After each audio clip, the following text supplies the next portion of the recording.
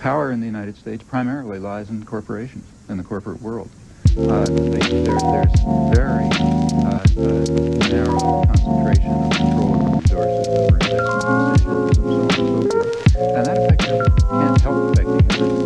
Uh, it, it affects the government because it means that there's a very close link between governmental power and corporate power. Furthermore, just the ability to make investment decisions and decisions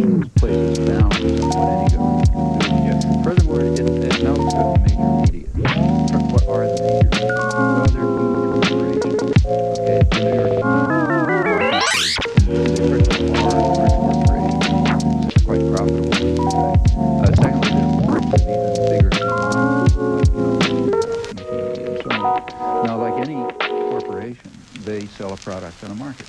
This is a market, roughly a market, a kind of a state-guided market society.